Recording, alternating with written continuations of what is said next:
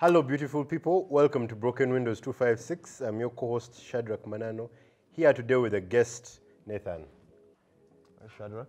Thank you for having me. Thank you for coming. Thank you for being here, for sharing My, my pleasure. your time with us. Yes. I want to talk about a few things. I want to talk about what's been happening all around us, All right. all these things in, in, in, in Russia and in the world.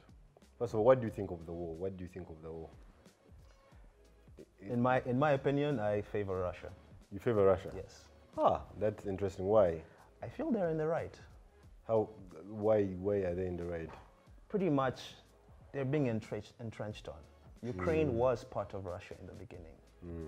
So, Putin's argument that they're coming too close to them is actually very fair. Because, I mean, consider if you had enemies right at your border.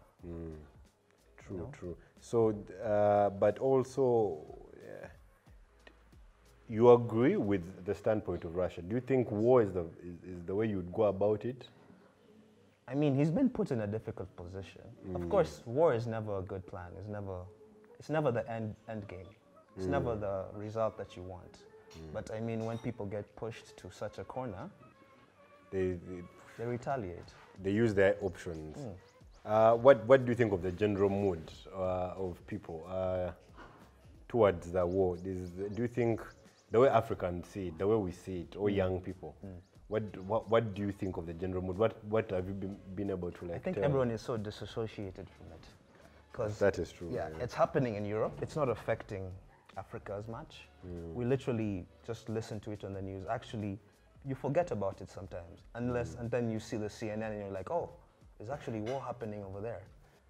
and, know? and and the way it has been shaped up to be like it is a global thing. Exactly. I I mean, there are there are European countries that are being affected, especially like Germany. I can give an example because they're shipping so much um, resources to To to to try to, and uh, help. to try and help, yeah, in the Ukraine.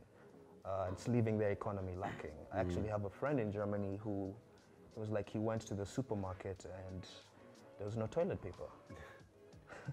no Those are. European problems, yeah, by the way. Yeah, those are European problems. yes, yeah. Mm. but I, I- get you. Uh, Moving on to like wars, uh, we've been speaking to a lot of our guests about feminism and wars, Yeah. and basically just putting it there as a premise.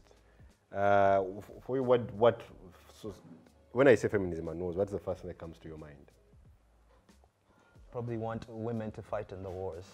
You want women to be part of. Uh, you consider women should be part of the fighting rather than just the men, right? True, true, yes, Equality. yes, That's yes, pretty yes, much yes, what feminism is. Yes, yes, but also on another premise, we, we also want to uh, bring light to male suffering that people do not uh, sort of uh, recognize because every statistic that you read about the war, women are being raped, uh, it affects maternity and all these things, and we feel it is. I personally feel it is very, uh, what's the word, unfair, because men are dying, Yeah. and men get amputated, and men get affected the most Yeah, women only get affected because they get to live. yeah. If you're dead, then you see. eh? So that is the premise of, of feminism and, and, and, and, the war, and the wars.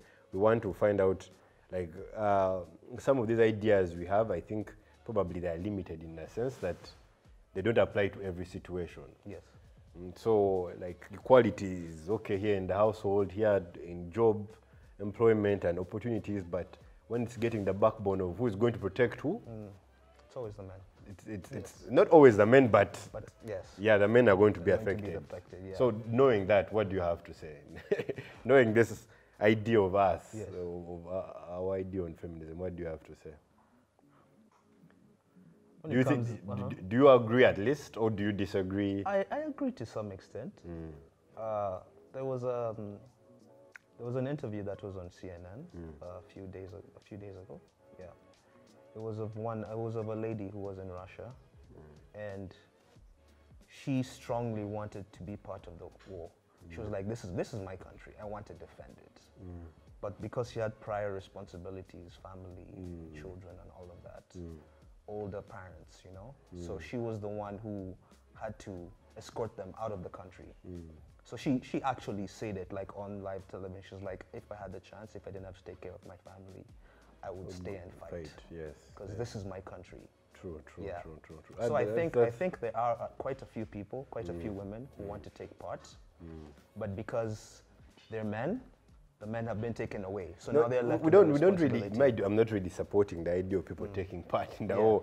I really want to look at what happens after the war and and and where is everyone focused on? Because Mm. if everyone is focused on, we need to get the women and children out and all this, and then the men were just like, yeah, yeah, yeah. Uh, the team made a joke with one of our guests earlier where he said. Uh, sometimes we might get to a place where men have to now identify as women to avoid being part of wars. You get it? Changing- to change, they'll change sex so that they, uh, they don't yes, participate. Yes. No offense to any transgender people, but you understand, eh? Understand, Uh, yeah. Mm-hmm. Or like the other way around, that should we now get the transgender women, uh, tran- the, the, the, the transgender women, Yes. yes, to, to, to also take part in the war and all those other things. So that is the, the premise for that. Mm. Okay. Okay, but moving on, uh, I would also like to, us to talk about more uh, nicer subjects. uh, talk about social happiness in Uganda, our society. What do you think makes people here in, in, in Uganda happy? What do we like doing uh, in, in groups? Because we had a few options. I think we're a nightlife country. Yes. People here like going out at, at night Oh yes. to Simbu did that sort of thing, and then some people really like to pray overnight. so there's also that. We we also very Religious. religious Christian. Okay, not actually religious. I mean Christian religious. Yeah. Even the Muslims are very devout. Uh, and then uh, what is the other option? Yeah, basically uh, around there or some other way. You think Ugandans like to enjoy To themselves? enjoy themselves. Do you think we are readers? I, I think I think we're a diverse community. I mean, Mm. but yes, the, the, the majority of people either like to party, Mm. and because uh, we're uh, we're considered a um, a Christian commu- a Christian country, Com- right? Yes, yes. Because we have the prayer, we have the day of prayer with Mm. Museveni and all of that. So, the amount of uh, believers or those who um, are religious is a large population. True, true, Yeah. true, true. Um, Yeah. So, uh, you don't think we can be we can be defined any other way? Uh, well, yes, we can, but the public image that we have is, is mostly that. I mean, there was just uh, we were just talking with uh, Tim Mm. about the reports that came uh, from 70 that was saying that Ugandans are drinking less. Yes.